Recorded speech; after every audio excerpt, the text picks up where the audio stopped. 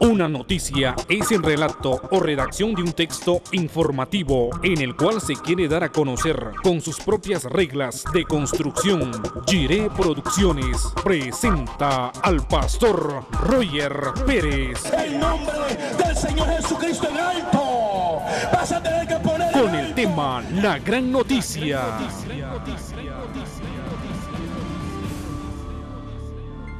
Démosle aplausos al Padre, al Hijo y al Espíritu Santo. ¿Quién vive? Y a su nombre. Demos aplauso de bienvenida a los amigos. Hay amigos entre nosotros, un aplauso fuerte a los amigos. A quienes están alrededor de este lugar, a los amigos que también estarán viéndolo por internet. Dios bendiga a los amigos que están ahí viendo o verán por internet, Dios le bendiga y que Cristo lo ama. Pueden tomar un momentito, hermanos. Dios bendiga a cada uno de los pastores, iglesias que están hoy en este lugar. Dios les bendiga. Eh, Dios, Dios le bendiga a los miembros, diáconos, servidores, ancianos de diferentes iglesias. Dios le bendiga. Veo ahí hermanos programadores en medio de nosotros. No sé cuántos programadores de la radio, la voz de mi amado hay, pero hay unos varios por acá.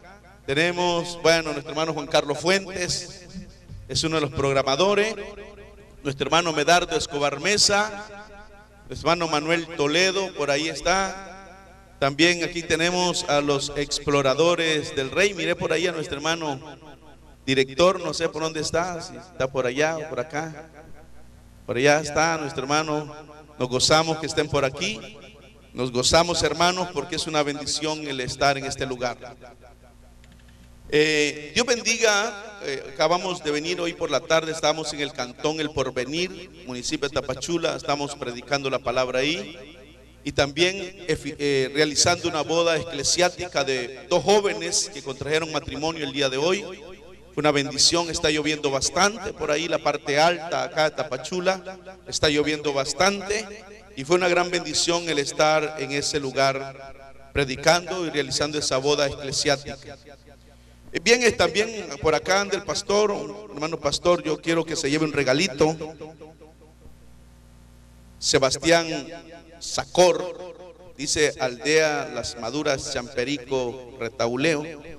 Yo quiero regalarle un disco, un videoclip a nuestro hermano pastor. No sé por dónde está, yo quiero regalarle este disco. Este disco es el de la campaña hace ocho días. El, hace ocho días, este es el mensaje del sábado anterior, hoy ocho días, vamos, quiero regalarle este videoclip a nuestro hermano pastor que nos visita. Dale un aplauso a Cristo y a nuestro hermano, para que se vea un recuerdo también de Tapachula, hermano. Un recuerdito para que se lleve de Tapachula. Eh, vamos a leer la palabra de Dios, hermano. Por si algún hermano quisiera ver la predicación del, del sábado pasado y la de hoy, puede usted buscarlo en www.youtube.com. Ahí lo puede usted checar, lo puede ver en su computadora. Dios bendiga a los amigos que nos están viendo también por la televisión o nos verán por la televisión. También le damos un aplauso a los amigos, a los amigos que nos ven por la televisión y a los amigos que nos ven ahí por su computadora. Dios le bendiga a todos los amigos. Vamos a leer la palabra de Dios, hermano. En el Evangelio de Mateo, En el capítulo 24, quiero leer dos versículos de la Biblia en esta, en esta noche. Les voy a invitar que se pongan de pies, hermanos y amigos, para dar lectura a la palabra de Dios. Evangelio de Mateo capítulo 24. Después vamos a leer Apocalipsis 1.7. Pero primero vamos a leer Evangelio de Mateo capítulo 4, perdón, 24. Capítulo 24.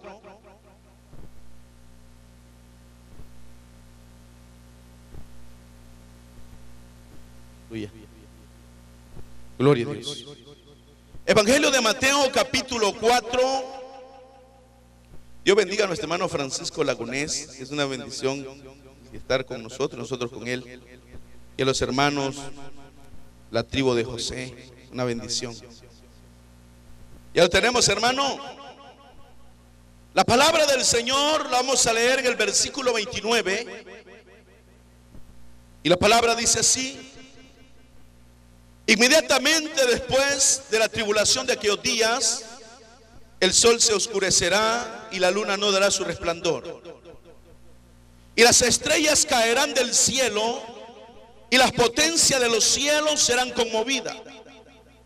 Entonces aparecerá la señal del Hijo del Hombre en el cielo y entonces lamentarán todas las tribus de la tierra y verán al Hijo del Hombre viniendo sobre las nubes del cielo con poder y gran gloria.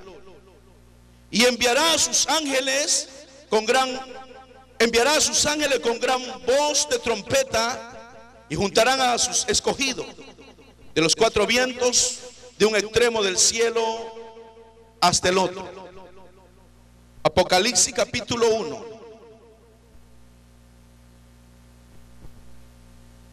Apocalipsis capítulo 1.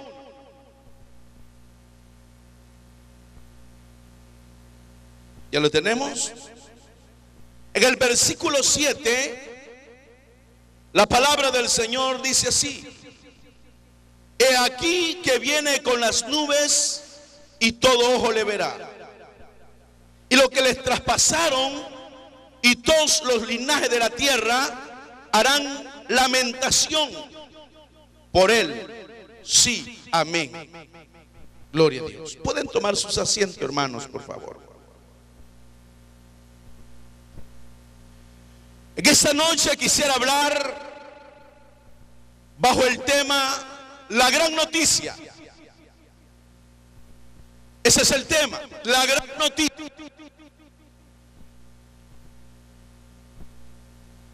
Cuando Tenía la fecha para predicar en esta noche, en este lugar. Comencé a orar a Dios. Y me mostraba el Señor que había o que hay muchas necesidades. Hay bastantes enfermos. Hay mucha gente que está enferma. Pero también me mostraba el Señor a muchos amigos Pero que los amigos han rechazado el Evangelio, han rechazado la palabra de Dios. Eso me mostraba a mí el Señor hoy en la madrugada. Sin embargo, quiero decir a los amigos que hay un propósito de Dios. Si el amigo está aquí o nos está escuchando, hay un propósito de Dios. Y que Dios le está dando la oportunidad para que el amigo abra su corazón y reciba a Jesús. Pero también quiero hablarle de algunas noticias que han impactado el mundo. Algunas noticias han impactado el mundo, otras noticias han impactado alguna nación o muchas naciones. Por ejemplo, en el 11 de septiembre, cuando fueron derribadas las Torres Gemelas en Nueva York, Estados Unidos de Norteamérica. Esa fue una gran noticia a nivel mundial. Las televisoras, los satélites estaban atentos a ese gran evento que había ocurrido. Y el mundo entero estaba sorprendido de ver cómo aquellas torres gemelas se quemaban y poco a poco se iban quemando. Y la gente estaba asombrada por ese momento que estaba ocurriendo un desastre a las torres gemelas en Estados Unidos. Y a todo el mundo le llamó la atención. Le llamó la atención la cantidad de muertos que hubieron ahí. Le llamó la atención que las torres gemelas estaban siendo consumidas a fuego. Que eran dos torres y dos construcciones enormes que para Estados Unidos vino a ser una gran tristeza. Vino a ser un gran desastre. Y Estados Unidos, todo Estados Unidos, Norteamérica, se llenó de pavor, se llenó de miedo, se llenó, hermanos, de angustia. Se sintieron seguros. Se sintieron desprotegidos.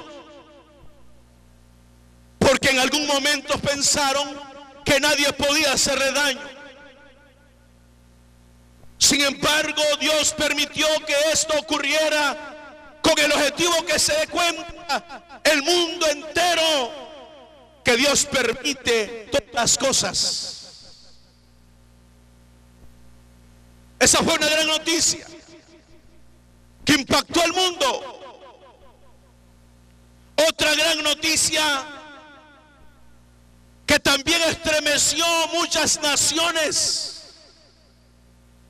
fue el terremoto en Chile. Un terremoto que sacudió a algunas naciones. Y fue una gran noticia. Hubieron miles de muertos y hubieron también miles de viviendas destruidos. Y también hubieron miles de damnificados. Y corrió aquella noticia por todo el mundo. Corrió aquella noticia por muchos países. Pero eso no es todo. En Chile está uno de los cuatro polos de la tierra. Y con el temblor o el terremoto que hubo en Chile, se movió el polo que está ahí en ese lugar, se movió de un lugar a otro. Con el objetivo de que Dios ha comenzado a tratar de esa manera. Y los científicos y los astrólogos y los que estudian la Tierra, los de la NASA, han dicho que al moverse ese polo ha quedado debilitada la Tierra y es por eso que hay terremotos, temblores, maremotos. Por el terremoto que hubo en Chile. Y eso ha ocasionado mucha destrucción por el movimiento de ese polo. Y fue y es y va a seguir siendo una gran noticia. Pero también hay otra noticia. El tsunami que sacudió uno de los países asiáticos. El tsunami nunca antes visto destruyó una ciudad. Destruyó una ciudad, miles y miles y miles de muertos fueron en ese lugar. Se salió el mar y cubrió una ciudad completa y destruyó todo lo que agarró en su paso. Lo destruyó.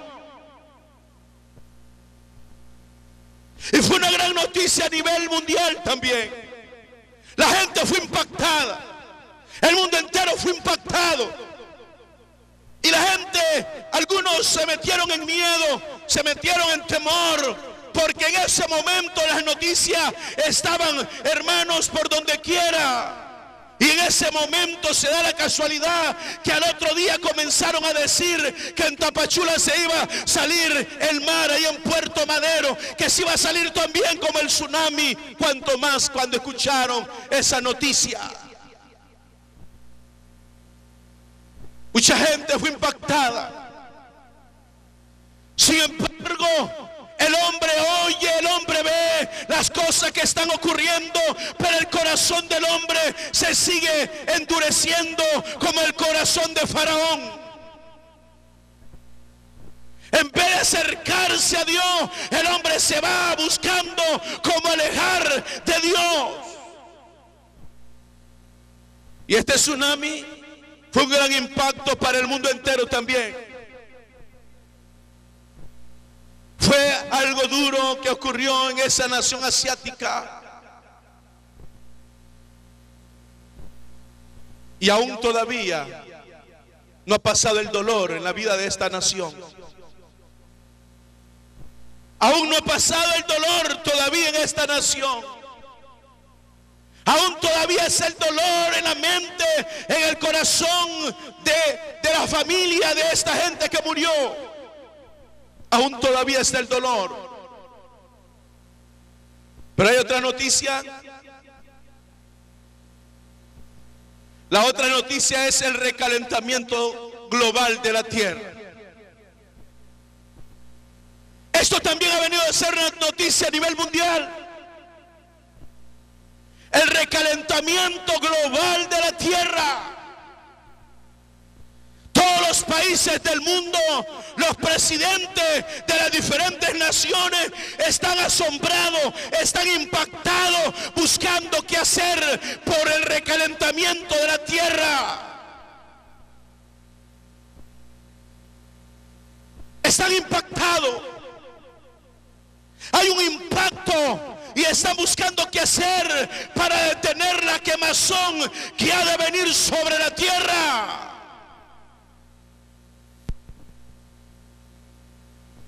Están buscando qué hacer para detener lo que ha de venir en los próximos tiempos. Y se han unido miles de presidentes de los diferentes países del mundo y han comenzado a trabajar por el Internet, han comenzado a trabajar en las naciones, han comenzado a trabajar en los estados y en todo lugar, buscando cómo detener esos tiempos que vienen. Esa es una noticia a nivel mundial. Otra noticia la globalización. Cuando hablamos de la globalización, hace 20 años casi no se escuchaba hablar de la globalización. Habían apenas 20 países unidos hace 20 años atrás, hablando de la globalización en el mundo entero. No había muchas naciones hablando de ello, pero después, hermano, hace poco, hace 10 años, han venido a unirse las naciones para entrar al plan de globalización a nivel mundial. ¿Y sabe qué es eso? Es el cumplimiento de la palabra de Dios. Es el cumplimiento. Dios está permitiendo esto, hermano. ¿Sabe por qué? Porque la globalización trae tres objetivos. La globalización trae tres objetivos. Los tres objetivos más principales y fundamentales que está buscando la globalización son tres. Uno, el poder económico. Hoy el mundo entero está interesado, algunos presidentes, algunas naciones están interesados en el poder económico. Y por ello es la globalización buscando el poder económico. Están uniéndose. ¿Y sabe qué se va a dar ahí? Esta es parte de la plataforma del anticristo. La globalización es, parte de la plataforma del anticristo que ha de venir, hermanos, para querer gobernar el mundo entero. Es parte de ello tener toda la parte económica y echar a andar la moneda nacional, el euro, que estará gobernando el mundo entero. No habrá otra moneda más que el euro. Eso es parte del plan satánico, del plan diabólico, hermano, de la plataforma del anticristo. Y va a reinar una moneda, el euro, a nivel mundial. Y el Ebro comienza ya comienza a navegar por todo el mundo. Ya comienza a ser una moneda reconocida porque es, es la preparación de la plataforma del anticristo. Y cuando hablamos de esta globalización, el, 80% de países del mundo ya están unidos. Hoy se escucha hablar, todo el mundo, la mayoría de personas habla de la globalización porque ya hay el 80% de países unidos a esta globalización. Y ya están sentados preparando la moneda para lanzar la moneda en la parte económica a nivel mundial.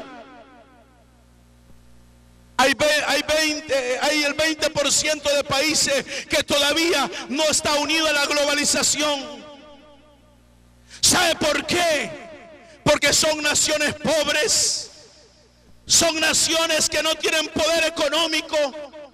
Son naciones que están bien débiles en la economía son naciones bien pobres, hermanos, y podemos poner ejemplo aún. Hay países centroamericanos que económicamente están pobres y hay países al lado de África que están muy pobres y que no hay dinero. Hay esos países están apartados de esta globalización porque no llenan los requisitos.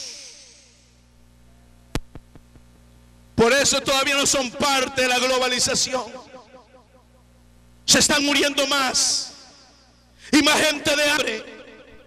En esos países está la escasitud de trabajo, la escasitud de alimento, la escasitud del circulante en el país. Están bien bajo, mucha gente está desempleada, está muriendo de hambre, están necesitados. Porque no hay circulante, no hay negocio. Y por eso esos países están fuera ahorita de la globalización. Todos los comercios a nivel mundial hay cuatro empresas cuatro empresas gigantescas que están dominando el mundo en toda la parte del comercio, que ya están metidas en la globalización. Cuatro empresas a nivel mundial que está dominando lo que es la parte alimenticia, la parte de la ropa, el calzado y los alimentos. Son dos, cuatro empresas que están dominando el mundo entero y ellos envían los alimentos a los países que ellos quieren, a los que tienen más poder económico. Y a los países más pobres no le envían por la parte económica que no hay. Ese es un objetivo de la globalización. Segundo objetivo de la globalización es el poder político.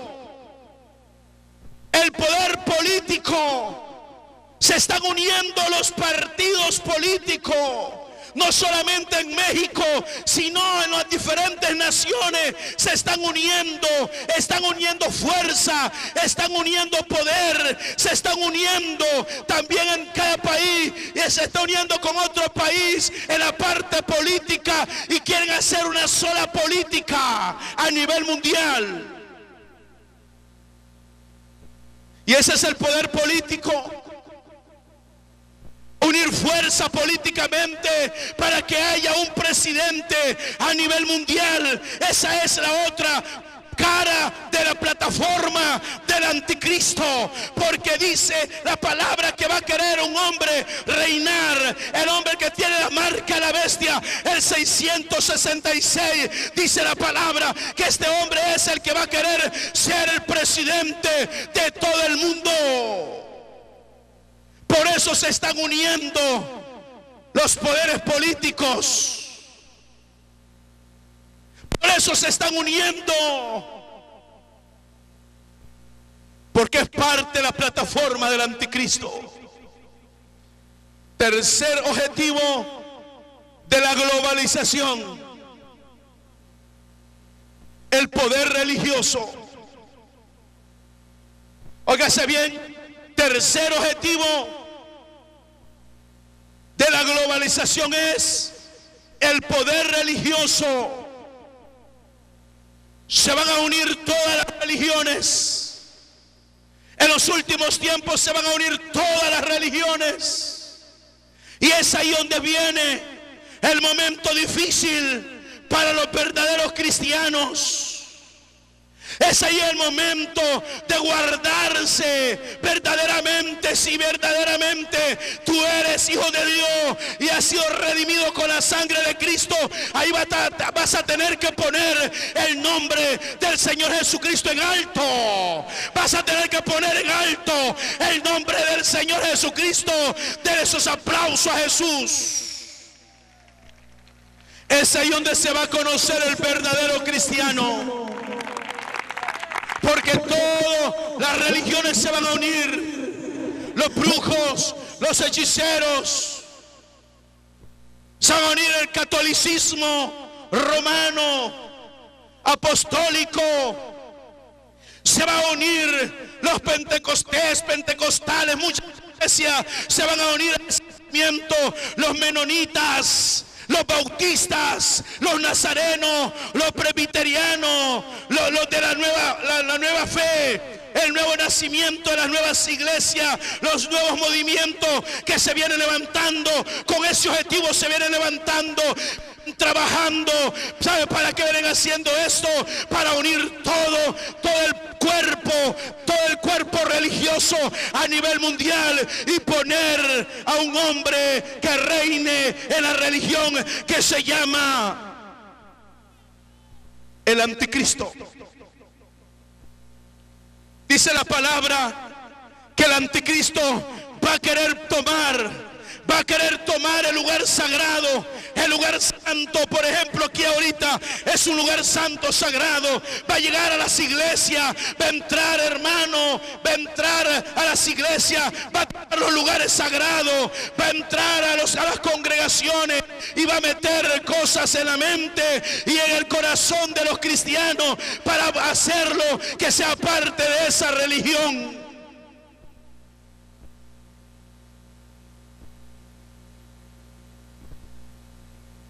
Eso va a ser el tercer punto de la globalización que estamos viviendo ya. No estamos hablando que es en el nuevo milenio.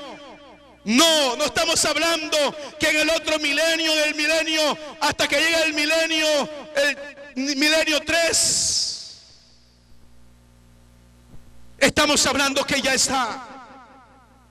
Dice la palabra que también este personaje se va a ir a Israel. En Israel hay un lugar santo, consagrado. Dice que ahí va a llegar y va a querer tomar el lugar para hacerse pasar por Dios, para tomar el lugar sagrado y dominar desde ese lugar a todas las naciones del mundo en el área religiosa. Y esos son los tres objetivos de la globalización.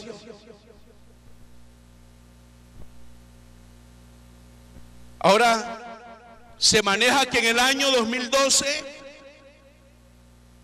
es el año donde habrán más destrucciones. El sábado lo hablaba en la predicación y el martes estaba ocurriendo el terremoto en, Guerrero. Ahorita Guerrero tiene miles de damnificados. El estado de Guerrero tiene miles de damnificados, tiene varios, muchos muertos y hay muchas viviendas destruidas. ¿Sabes por qué? Porque son parte de lo que viene sobre la tierra, no solamente sobre México, no, no solamente sobre México, sino por los países latinoamericanos, los países hermanos centroamericanos, los países asiáticos, los países del continente que está abajo de la tierra y de todos los países del mundo.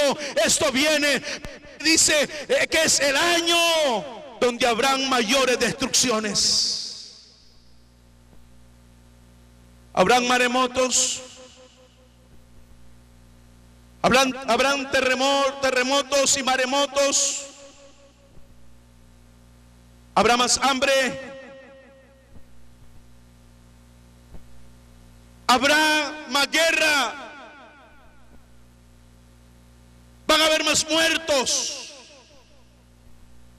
El crimen organizado va a crecer, el narcotráfico va a crecer, los asaltos van a crecer, los secuestros van a crecer. Porque parte del cumplimiento de la palabra del Señor. La Biblia habla de los de señales antes del fin. Dice la Biblia que habrá guerra, rumores de guerra. Dice que habrá peste, habrá hambre, habrá terremoto en diferentes lugares. Y eso es principio de dolores. Dice la palabra de Dios.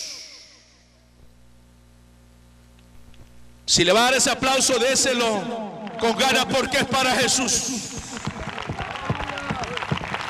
¿Sabe qué es eso, hermano? Es el cumplimiento de la palabra de Dios, porque esas son las señales que están ocurriendo a nivel mundial. Ya no podemos quedarnos callados, tenemos que hablar acerca de la venida del Señor, acerca que el hombre necesita arrepentirse y buscar de Dios, porque los tiempos que vienen son tiempos peligrosos. Pero también son tiempos de gloria para la iglesia cristiana. Son tiempos de gloria para la iglesia cristiana, para la iglesia evangélica cristiana. Son tiempos de gloria que vienen en esos tiempos. Son los tiempos de gloria para la iglesia cristiana. ¿Saben qué? La iglesia cristiana va a crecer, crecer. Las congregaciones van a crecer. Las iglesias van a crecer. Hermanos, los pastores van a predicar como fuerza la palabra de Dios. ¿Sabe por qué? Porque el Señor pondrá una necesidad en el corazón de los predicadores, en el corazón de los pastores, en el corazón de los profetas, en el corazón de los maestros, en el corazón de los apóstoles, en el corazón de los líderes el Señor eso en el corazón, se va a levantar un avivamiento de predicación del Evangelio. ¿Cuánto lo creen?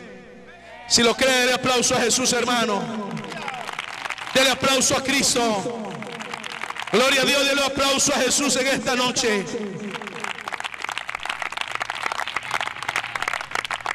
Hemos leído la palabra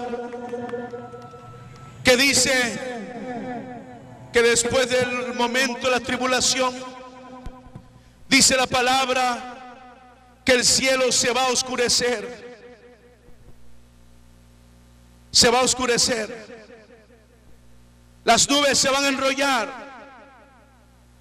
Va a quedar todo en tiniebla. Dice la palabra que las estrellas caerán. Van a caer. Todo va a estar oscuro sobre toda la tierra. No crea que es solo en México. No crea que es solo en Morelos o en la colonia Milenio. No. Va a ser oscura a nivel mundial va a ser una oscurana a nivel mundial sobre toda la tierra, va a cubrirnos oscurana sobre toda la tierra, porque el día del Señor vendrá. Porque el día del Señor vendrá. Por eso va a ser cubierta toda la tierra de esa tiniebla. hay que prepararse, iglesia. Amén, dos, amén, tres, amén. Hay que prepararse, iglesia.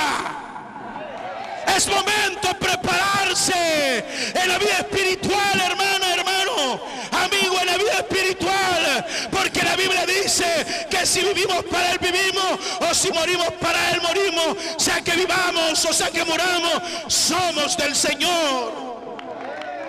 Estar preparados.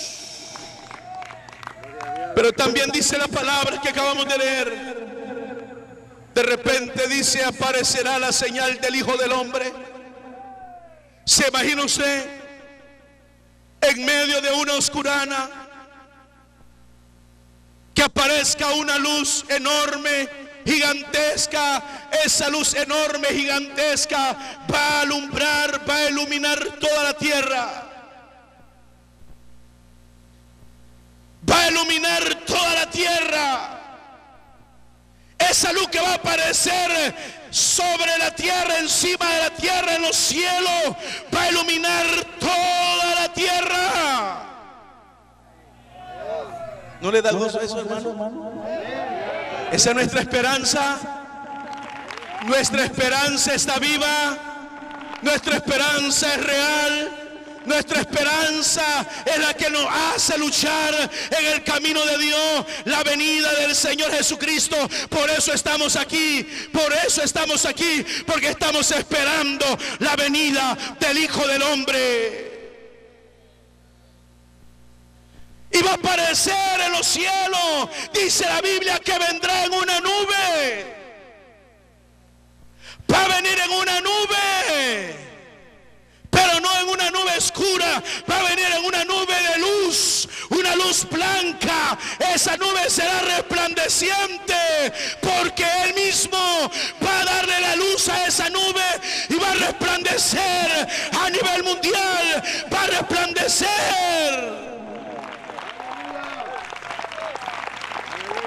¿Y sabe qué, hermano? Algo impactante que va a ocurrir a nivel mundial no va a haber luz eléctrica. No va a haber luz del sol, de la luna ni de las estrellas. Porque dice la palabra que el sol se va a apagar. La lumbrera mayor es el sol. Cuando sabían que la lumbrera mayor es el sol?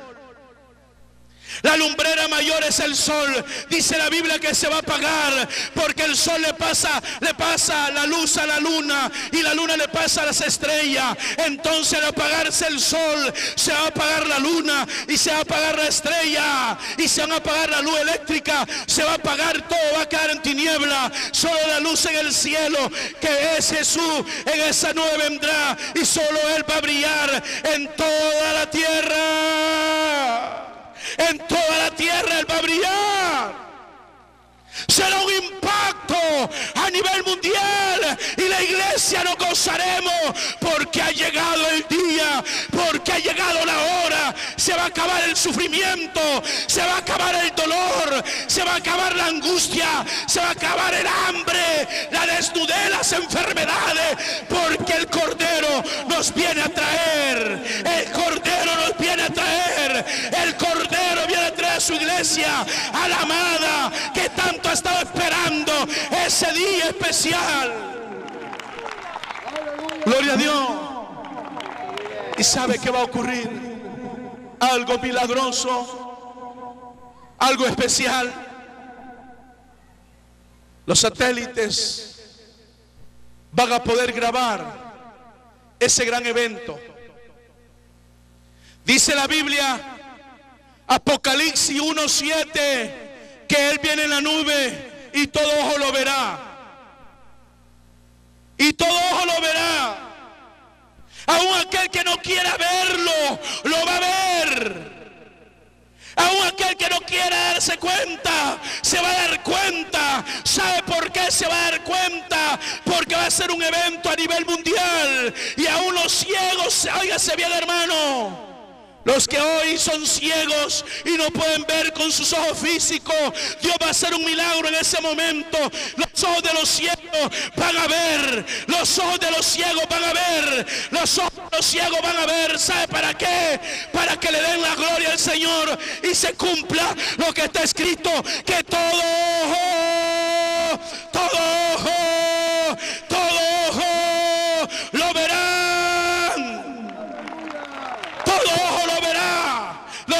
van a ver en ese momento de oscurana. Los ojos se le van a abrir. El resplandor divino del cielo va a romper la barrera que tienen limitado los ojos de los ciegos. Y los ciegos van a poder abrir sus ojos y ver y contemplar y observar la gloria de Dios. ¿No le da gozo eso, hermano? Estuviéramos brincando de alegría nosotros. Aleluya. ¿Se bien? Los niños, los pequeños, los peque, también los patojos, los jóvenes, van a ver la señal del Hijo del Hombre también. Lo van a ver los chavos, las jovencitas, lo van a ver. La Biblia dice, todo ojo lo verá, todo ojo lo verá los ojos de los jóvenes, de los niños, de las doncellas. Lo van a ver también. Dice también la palabra, los ojos lo verán todo ojo, los ojos de los adultos lo van a ver, las personas adultas lo van a ver, van a lograr ver la gloria de Dios. ¿Se imagina usted que dentro de ese pueblo está usted, estoy yo, estamos toda la iglesia a nivel mundial? Lo que tenemos que procurar es esperar ese día. Vamos a orar, cierra tus ojos ahí, vamos a orar a Dios.